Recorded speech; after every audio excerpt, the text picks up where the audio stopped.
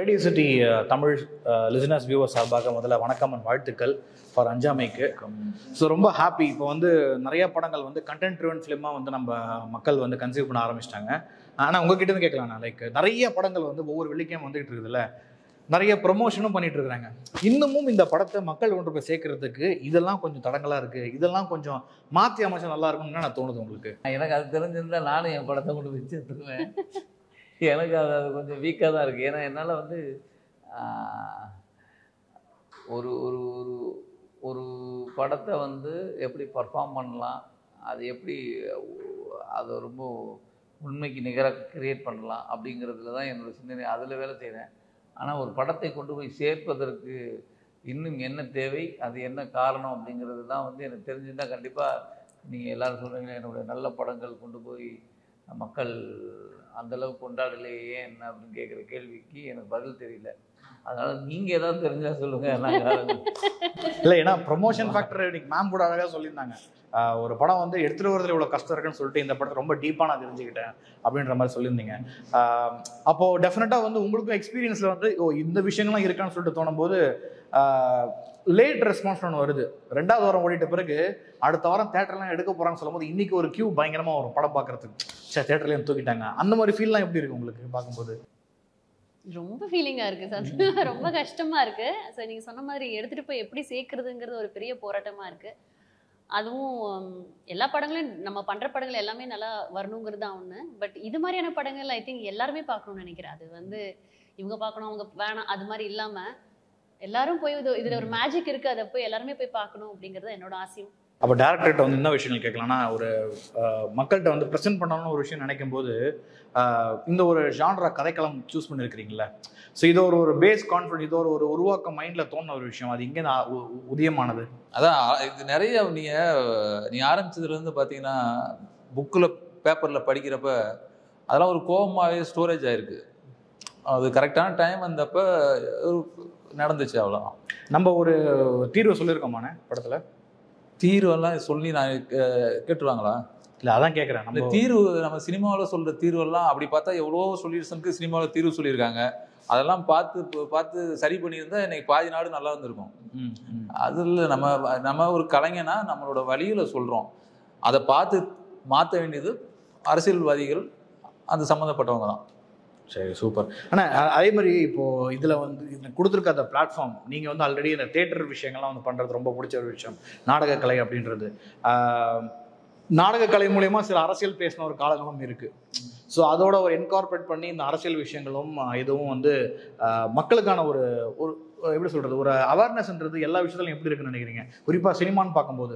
சினிமாவில் சொல்கிற விஷயங்களை எடுத்துக்கிறாங்க சில சீரியஸாக எடுத்துக்கிறாங்க எடுத்துக்க மாட்டாங்க ஜென்ரிக்கான விஷயங்களை தவற விட்டுறாங்களோன்னு தோணுது இல்லை அதுக்காக கேட்குறேன் இல்லை இல்லை நீங்கள் வந்து நாடகம் ஆக்சுவலி அன்னைக்கு பார்த்தீங்கன்னா நாடகத்தின் மூலமாக நாட்டிய நாடகம் நான் நான் ஒரு ஆர்ட் ஃபார்ம் மூலமாக தான் தன்னுடைய மக்களுடைய ப்ராப்ளங்களை மக்களுடைய விஷயங்களை சொல்லப்பட்டது. இன்றைக்கும் அதே இருந்துகிட்டு இருக்கு இன்றைக்கும் வந்து நாடகத்தின் மூலமாக நிறைய விஷயங்கள் பறைசாற்றப்பட்டிருக்கு.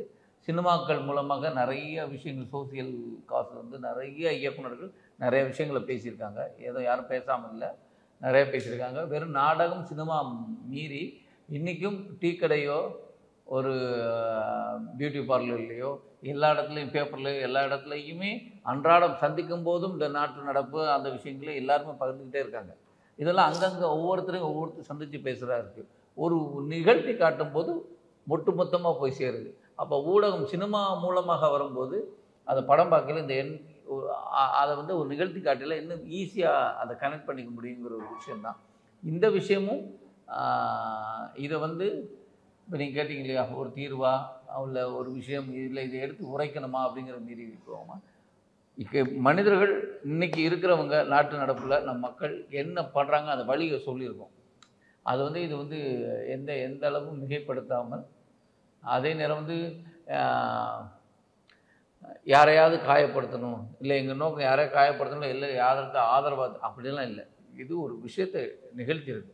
அது நீங்கள் படம் பார்த்தீங்கன்னா இந்த கேள்வியே இல்லாது ரொம்ப எல்லாருக்குமே அந்த பெயினில் நீங்களும் இருப்பீங்க. ஒரு கண்டென்ட் நம்ம ஸ்ட்ராங்காக வந்து சொல்கிறோம் இதை தாண்டி வந்து இன்னும் ஒரு சில சொல்லப்பட வேண்டிய வழிகள் சொல்லப்பட வேண்டிய விஷயங்கள் இன்னும் இருக்குது. அதையும் நான் அட்ரஸ் பண்ணுறதுக்கு அடுத்தடுத்த படைப்புகளில் தயாராக இருக்கேன்னா ஏதாவது இப்போ மைண்டில் இருக்கா சார் நெக்ஸ்ட் ஏதாவது பிளான்ஸ் இருக்கா சார் ப்ரொடியூசர் ப்ரொடியூசர் வாய்ப்பு கொடுப்பீங்களா? சொல்கிறேங்க அதை சொல்கிறேன் சார் அவ்வளோ பயங்கரமான விஷயங்கள். சார் இல்லை சார் கேட்குறேன் சார் நமக்கு ஒரு படை ப்ரொடியூசர் வராங்கன்றதை தாண்டி இதெல்லாம் எப்படியாவது ஒரு மக்கள்கிட்ட எடுத்துகிட்டு போகணும்னு ஒரு விஷயம் இருக்குங்களா சார் அசு அசு அதெல்லாம் சொல்ல முடியாது. சார் ஆனால் அதுக்கும் ஒரு களம் இருக்குல்ல வெப் சீரிஸ் இப்போ வந்து சினிமான்னு எடுத்த உடனே நிறைய இருக்குங்க. கொட்டி கிடக்குங்க. நம்ம தான் பார்க்கறது இல்ல. ம். நிறைய இருக்கு. நம்ம தான் கண்ணை தெரிஞ்சு பார்க்கணும். ஆக்சுவலி நம்மளை நம்மளே பார்த்துக்கிறது இல்ல. பக்கத்துல பக்கத்து வீட்டுக்காரனை பார்க்கறது இல்ல. ம். அவன் வழியே பார்க்கறது இல்ல. நிறைய இருக்கு. நிறைய சோசியல் விஷயம் இருக்கு. சயின்ஸ்ல நிறைய இருக்கு. எஜுகேஷன்ல நிறைய இருக்கு. மெடிக்கல்ல நிறைய இருக்கு. ம். ஒவ்வொரு இதுலயும் இருக்கு. ஆனா சினிமாவில் அந்த ஃபார்முலா மாறிடுச்சு இல்ல? பொதுவா வந்து இப்போ ஆஹ் இப்போ மக்களோட ஒரு தன்மை வந்து இப்ப எ- எந்- எதை எப்போ லைக் பண்றானே தெரிய மாட்டேங்குது. இந்த இந்த விஷயங்கள உதாரணத்துக்கு ரெண்டு பாட்டு ரெண்டு ஃபைட் வச்சு கமர்ஷியலாக ஒரு பேக்கேஜிங்கை கொடுத்தா ஹிட் ஆன காலம் தாண்டி இப்போ வந்து இல்ல அப்பயும் நீங்க அப்படி கொடுத்துருந்தாங்கன்னா அதுல ஒரு உண்மைத்தன்மை இருக்கும் பெர்ஃபெக்ட் இருக்கும். அந்த கமர்ஷியல்னு ஒன்று சொல்றீங்கல்ல ரெண்டு டான்ஸு பாட்டு சாங்கு ஃபைட் இருந்தா அதுல வந்து ஆடியன்ஸை அட்ராக்ட் பண்ற மாதிரி விஷயம் இருக்கும். அது பொய்யா பண்ணீங்கன்னா நீங்க அப்படி பண்ணாலும் ஓடாது. சினிமாவில் இது இந்த கதைகள் மக்கள்கிட்ட போய் சேர்றதை விட ஓடிடின்னு சொன்ன மாதிரி வெப் சீரிஸ் இதில் போய் சேர்றது அதிகமாக இருக்கு. அந்த ஒரு விஷயத்தை எப்படி நான் பார்க்குறீங்க ஓடிடியில் வாய்ப்பு கிடைச்சா பண்ண வேண்டியது எதுல வேணாலும் பண்ண வேண்டியதுதான். சூப்பர்ண்ணே. ஸோ வெயிட் பண்ணுறேன் நிறைய வச்சிருக்காரு போல. டிஃபால்ட்டாக இந்த ஸ்டார்ஸோட படங்கள்லாம் டிஃபால்ட்டாக வந்து நோ மேட்டர் கண்டென்ட் அப்படின்னாலும் கூட சில விஷயங்கள் பட்ஜெட்டாக வந்து போயிடும். என்னது? சொல்கிறேன் ஆ. நோ மேட்டர் பட்ஜெட் கண்டென்ட்டாகவும் போயிட்டு இருக்குது. நல்ல கண்டென்ட்டுக்கு வந்து அந்த டிலேன்றது ஒன்று வருது இல்லையா? ஸோ அங்கே வந்து எதை முதன்மைப்படுத்தி ஒரு படத்தை புஷ் பண்ண நினைக்கிறீங்க? ஹீரோவா இல்லை கதையா இல்லை வந்து வேற ஏதாவது மார்க்கெட்டிங் ஸ்ட்ராட்டஜியா அது எப்படி நான் அது ஒர்க் அவுட் ஆகுது உங்களுக்கு? நீங்க கேட்டீங்க நான் என்ன சொல்லுவேன்? கதை இன்னும் கதை. சொல்லுவேன்.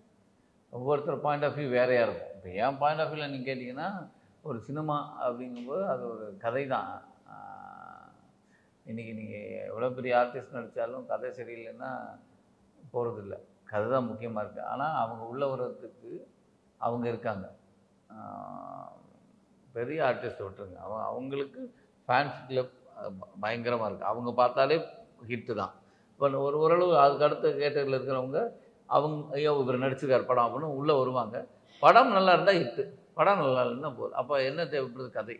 எந்த க இடத்துலையும் எடுத்தாலும் கதை தான் முக்கியம். ஆனால் அதே மாதிரி ஆஸ்பைரிங்காக நிறைய இப்போ கிரியேட்டர்ஸ் வந்துட்டு இருக்காங்க. போது இப்போது நீங்கள் சொல்லலாம். இப்போ ஒரு விஷயம் வந்து ஒரு கதை சூஸ் பண்ணும்போது ஒரு ரோல் சூஸ் பண்ணும்போது மைண்டில் உங்களுக்கு சில விஷயங்கள்லாம் இருக்குல்ல. ஓகே ஆ சரிப்பா இது நம்ம பண்ணலாம். அப்படின்னு நம்ம என்ன விஷயங்கள் மைண்டில் டக்குன்னு ஒரு ஹூக் அடிக்கணும் ஓகே இந்த விஷயம் இருக்குது நம்ம பண்ணலாம் அப்படின்ற மாதிரி. நான் ஒன்று கெஸ் பண்ணிட்டேன்னா அப்போ அந்த படம் இல்லை. எனக்கே ஆச்சரியப்படுத்துறது தானே ஒரு கதையை கேட்க செம்மையாக இருக்கு. ஐயோ ஒரு மாதிரி ஃபீல் இருக்குது அப்படின்னா. என்னை அந்த தருணத்தில் என்னை வந்து ஆழமாக உணர வைக்கிறதில்ல அது ஹியூமராகவும் இருக்கலாம் இமோஷனலாகவும் இருக்கலாம். என்ன ட்ராமாவானா இருக்கலாம். ஆனால் அது நம்ம அந்த டயத்தில் அது அதை விட்டு விலகாமல் ஒரு சிந்தனை இருக்குல்ல அது கிடைச்சா எஸ் சூப்பர் சார். அதே மாதிரி மேம் இப்போ சினிமா இந்த social media platform digital platform இதோட கிராஸ் கனெக்ஷனாக போயிட்டு இருக்கு இதால இவங்களுக்கு பிரபலம் அதால அவங்களுக்கு பிரபலம்ன்றது இந்த விஷயங்கள்லாம் வந்து அஸ் அ ஆக்டராக உங்களுக்கு வந்து எப்படி அது பாசிட்டிவாக இருக்குது எப்படி நெகட்டிவாக இருக்குது லைக் எப்படி இப்போது இவங்க வந்து டிஜிட்டல் இவங்க ரீச் இவங்களை காசு பண்ணால் நம்ம படத்துக்கு எப்படி ப்ரொமோஷன் இருக்கும்? ஓகே இவங்க வந்து ஆல்ரெடி இவங்க நல்ல ஒரு பர்ஃபார்மர் இவங்களை வச்சு நம்ம டிஜிட்டல்லையும் புஷ் பண்ணிக்கலாம். இந்த மாதிரி ரெண்டு கன்செப்ட் கன்செப்ஷன் ஆஃப் ஆடியன்சஸ் இருக்காங்களா அவங்க அந்த மாதிரி விஷயங்கள் தான். ஆடியன்ஸ் இல்லை. இவங்க ப்ரொடக்ஷன்ஸில் இருக்காங்க. ஆடியன்ஸ் வந்து எதை அழகாக கொடுத்தாலும் பார்க்க தயாராக இருக்காங்க. சாரி நீங்கள் போங்க. இல்ல ஏன்னா கரெக்டா production. சார் சொன்னது கரெக்ட் ஒன் மோர் திங் அது வரவேற்கத்தக்கது because I see brilliant actors in. Social media எப்படிடா நடிக்கிறாங்கன்னு தோணும். எப்படி டைரக்ட் பண்றாங்கன்னு ஃபோனை வச்சே டைரக்ட் பண்றாங்க கதை எழுதுறாங்க ஸ்கிரிப்ட்ஸ் இருக்குது பயங்கரமா பண்றாங்க. ஸோ ஐ திங்க் எல்லாருக்குமே அது வாய்ப்பு தானே? ஸோ ஐ திங்க் எப்படி பண்ணணும்னே தெரியாதவங்களுக்கு ஒரு வாய்ப்பு கிடைக்கிறதுங்கிறது ஐ திங்க் இட்ஸ் வரவேற்கத்தக்க விஷயம். ஆனால் அதே மாதிரி இப்போ இந்த ஃபீமேல் சென்ட்ரிக்காக ஒரு படம் வந்தால் அது ரொம்ப பெருசாக பார்த்த ஒரு காலம் தாண்டி இப்போ அதெல்லாம் நோ மேட்டர் அப்படின்னு சொல்லிட்டு சொல்கிறோம் இல்லையா? அப்படி இருக்கும்போது இப்போது இப்போ உங்களுக்கு வர கதை களங்கள் இப்போ அப்ரோச் பண்ணும்போது இப்போ இந்த ஃபீமேல் சென்ட்ரிக் அப்படின்னா எதை நீங்கள் வந்து குறிப்பிட்டு சொல்கிறீங்க ஃபீமேல் சென்ட்ரிக்னா கதையோட விஷயங்களா இல்லை கேரக்டரா டெஃபினட்டாக கதை. நான் சும்மா ஒரு ரோல் பண்ணிட்டு வந்தா அது எப்படி ஃபீமேல் சென்ட்ரிக் ஆகும்? ஒன்லி அந்த கதை ஸ்ட்ராங்கா இருந்து நம்- நம்மளுக்கு நம்பிக்கை இருந்தா தானே பண்ண முடியும்? ஆஸ்பைரிங்காக நிறைய பேர் வந்துட்டு இருக்காங்க. நடிக்கணும். இன்னைக்கு ரெண்டு ஏதாவது வாய்ப்பு கிடைச்சா நம்ம மூஞ்சி தெரிஞ்ச ஏதாவது வந்துட்டு இருக்காங்க. ஸோ அட்வைஸாக இல்லாமல் அனுபவத்தில் சில விஷயங்கள் அந்த பசங்களுக்குலாம் சொல்லணும்னா என்னென்ன சொல்லுவீங்க? ஒன்றே ஒன்று தான் உங்களுக்கு உங்களுக்கு உண்மையிலேயே ஒரு விஷயத்த பிடிச்சிருக்கா? கடைசி வரை அதுலேயே இருங்க. உங்களுக்கு அந்த இடம் கிடைச்சே தரும். கிடைக்கலைனாலும் அந்த லைஃப்பை வந்து நான் பிடிச்ச இடத்துக்காக ஒன்று இருக்கேன்ல. அது போ அந்த இதுக்கு போயிடலாம். ஏன்னா நிறைய பேர் வந்து ஒரு காலகட்டம் போட்டு அதுக்கு முயற்சி பண்ணுவாங்க. அப்புறம் வேணாம் அப்புறம் அடுத்து போயிடலாம். நம்ம வாழ்க்கை என்ன கட்டணும்னு போயிடுறாங்க. ஆனால் சினிமாங்கிறது எப்போ வேணால் நடக்கலாம். ஆனால் உங்களுக்கு வந்து ஒன்று ஒரு விஷயம் எடுத்துக்கலாம் அது தீர மு நம்பிக்கையோடு முயற்சி பண்ணிங்கன்னா கண்டிப்பாக உங்களுக்கான இடம் ஒன்று உங்களுக்கு உண்டு. கண்டிப்பாக உண்டு. இன்றைக்கி எல்லோரும் ரொம்ப பிரமாதமான டேலண்டடாக இருக்காங்க. அண்ட் மேம் உங்ககிட்டயும் லைக் இப்போ படத்தில் சினிமாவில் இப்போ நார்மலான சாங்ஸ்ன்றது அவ்வளோ குறைஞ்சிருச்சுன்னு சொல்லலாம். Like out of the box foreign போய் பாட்டு எடுக்கிறது செட்டு போட்டு போகிறது அதெல்லாம் எல்லாமே எல்லாமே கதைக்கு ஒன்றிய பாட்டு. இப்போ இன்னொரு விஷயம் வந்து சைடில் வளர்ந்துக்கிட்டே இருக்குது. லைக் வந்து ஒரு ஹீரோ ஹீரோயினாக இருக்கட்டும் அவங்களுக்கு ஒரு போர்ட்ஃபோலியோ பில்டிங் மாதிரி நான் ஃபிலிம் மியூசிக்காக ஒரு பாடல்களுக்கு தனியாக அவங்க வந்து இது போட்டு ஒரு கான்செப்ட்ஸ்லேஸ் பண்ணி பண்ணுற விஷயங்கள் இருக்காங்க. எனக்கு எனக்கு தோணும்னு சொல்லலாம் அதே மாதிரி வாணி போஜன் மேம் இந்த மாதிரி மியூசிக் வீடியோஸ்லாம் ரெண்டு மூணு பண்ணால் நல்லா இருக்கும்னு தோணும். அப்படி தான் ஐடியாஸ் எனக்கு ஆக்சுவலி ரொம்ப ஆசை மியூசிக் வீடியோ பண்ணணும்னு.